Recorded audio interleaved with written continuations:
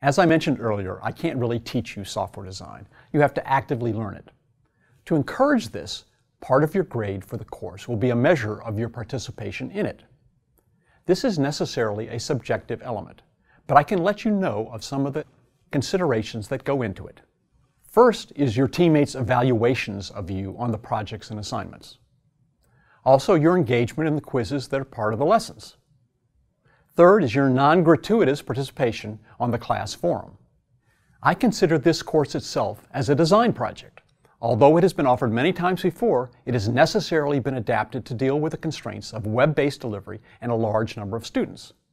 Therefore, I expect some elements will work better than others.